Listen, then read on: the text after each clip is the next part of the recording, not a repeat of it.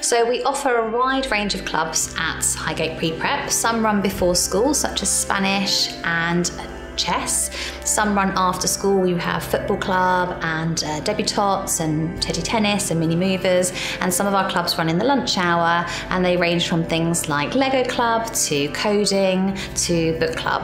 Whatever the children's interest, we try to tailor a club to meet their needs.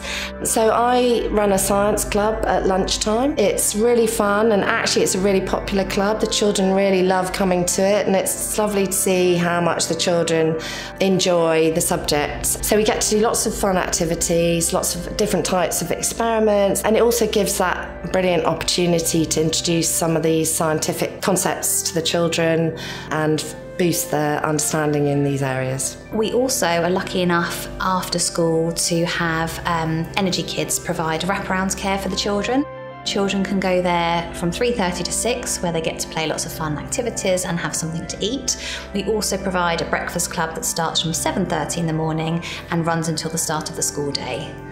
Other co-curricular opportunities are things like lots of musical shows, concerts. The children get a chance to go to forest school on a regular basis. We have visitors in, they go on trips. The curriculum really is full and vibrant and the children have an amazing opportunity to explore who they are and the opportunity to be the best that they can be.